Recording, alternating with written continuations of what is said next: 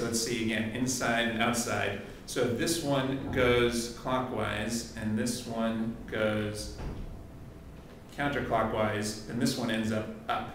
But if this one goes clockwise and this one goes counterclockwise, then this one ends up up. So you can get the two different outcomes here.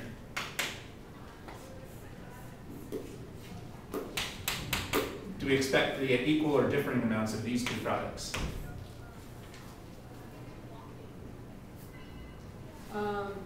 Because there's really no, no reason to prefer one to the other over here. There's no difference in sterotangent. So both of these I would expect would occur in equal amounts. The one thing that might confuse people here is people tend to get confused by these inside substituents. So you have to remember, this carbon over here doesn't have any arrows coming from it. The biggest mistake I see people make is trying to put an arrow on this carbon. This is just a substituent. It's not really participating in the reaction. Don't treat inside substituents like they're really participating in the reaction. Well, we know this is something that can do a electrocyclic ring closure. How many pi molecular orbitals will this compound have? four. Four, because it has four overlapping p orbitals.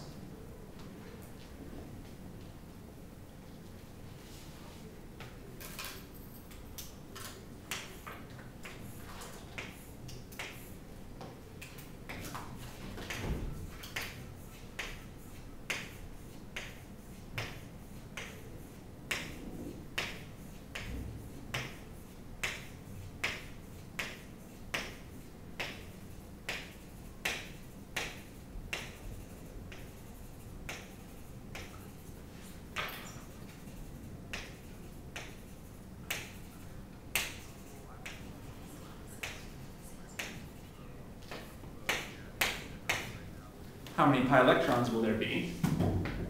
Four. Yeah, two in this pi bond and this two in this pi bond. Here's the HOMO. Here's the LUMO.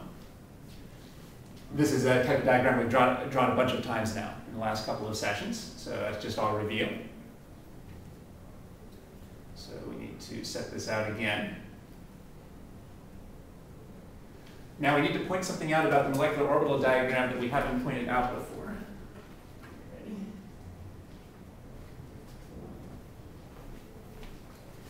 Remember I said last time that these molecular orbitals should always be symmetric? Now that was a little bit of a lie, um, because um, actually you can see this is symmetric around the middle, right? But this is really anti-symmetric around the middle. Can you see why we call this anti-symmetric around the middle? It has a kind of symmetry, but not a perfect symmetry. It's kind of a, a, a reversed symmetry. Now how about this level? Is this symmetric or anti-symmetric? Around the middle. Symmetric around the middle. And how about this level? Anti-symmetric. Um, now there, there's always a node in the middle, but we can always think of a mirror plane in the middle. Well, if you think about it, you'll see, remember this would be called pi 1, pi 2, pi 3, and pi 4. You might have noticed here that the odd numbered molecular orbitals were symmetric, and the even ones were anti-symmetric, and you, you can confirm that that will always be the case. No matter what molecular orbital diagram you make, the odd numbered molecular orbitals will always be symmetric.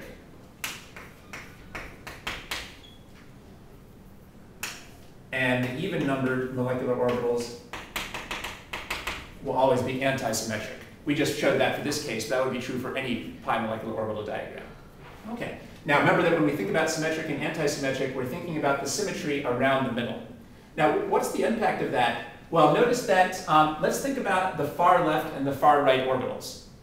In this case, notice in the symmetric case, the far left and the far right are the same as each other. But in the anti-symmetric, they're opposite to each other. And then in the symmetric case, the far left and the far right are the same as each other. And then in the anti-symmetric, they're opposite to each other. So that's the significance of symmetric and anti-symmetric. It tells you the relationship between the end orbitals.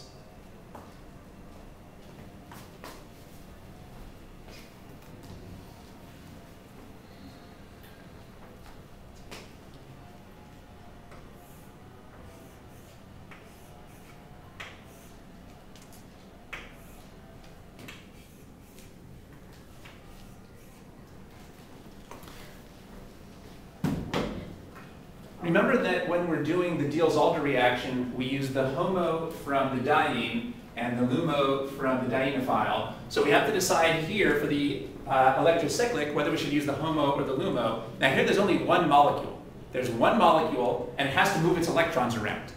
So if there's only one molecule and has to move its electrons, which of these electrons are the most accessible? Homo. In the HOMO. So in the electrocyclic reactions, we only care about the HOMO. In electrocyclic reactions, we only care about the HOMO. So I'm actually even going to erase this label here. There's no point even labeling the LUMO because that's not going to play any role. In electrocyclic reactions, we don't even care about the LUMO. That's different from the Diels-Alder, where we care about the LUMO for the dienophile. Uh, but in electrocyclic, the only thing we ever care about is the HOMO. So now let's label these orbitals over here. Well, if, I, uh, if I'm going to use the HOMO over here, I can do shaded on top, shaded on top, shaded on the bottom, shaded on the bottom. And that matches the pattern of this HOMO. Notice the way I've drawn these bonds so things look great. If I had drawn it like this, the bonds would be interfering with the orbitals. So you want to try to draw slanty lines here so that your picture comes out pretty, like we did with the Diels-Alder.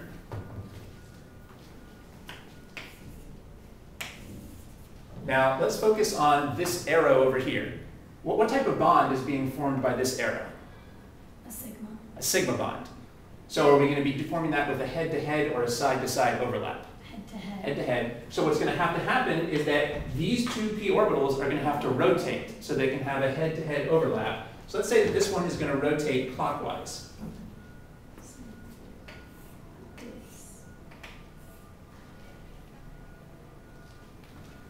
This is going to rotate clockwise.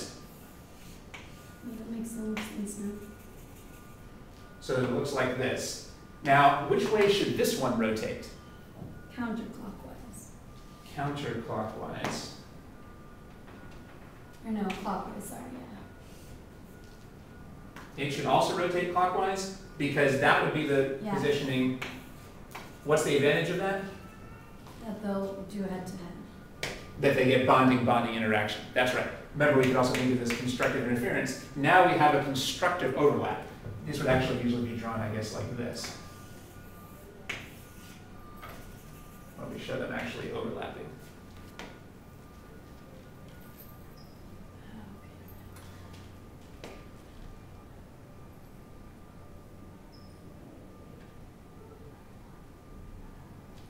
Okay. Um, and by the way, this reaction would take place under thermal conditions. Thermal conditions can kind of be just thought of like normal conditions. We're just adding a little heat to get over the activation energy. We just have to add a little heat to get over the activation energy, but these are just normal conditions. Um, so what did we end up predicting here, con-rotatory or disrotatory? Con, to get the bonding interaction. Now let's see what our table would have predicted. So what would be in our, in our table? Well, we have an even number of arrows. We have an even number of arrows, and we're doing a thermal reaction.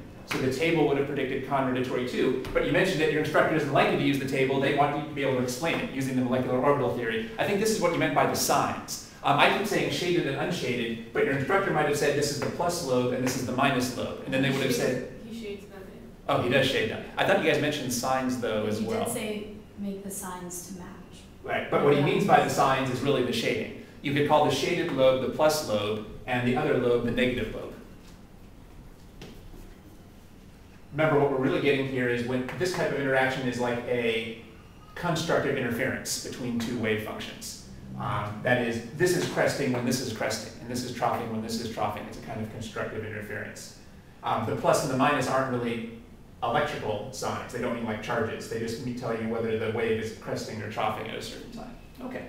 But so it sounds like this is what your instructor was going for when he said to use the signs to explain this. He basically meant the shading.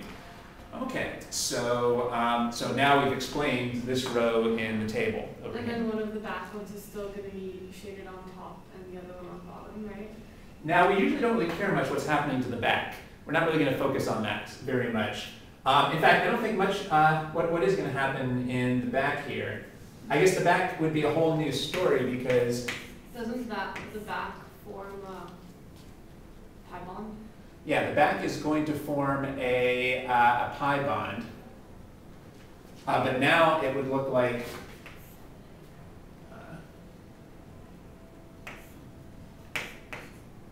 Yeah, he said we don't need to show this in, oh, I'm just kidding.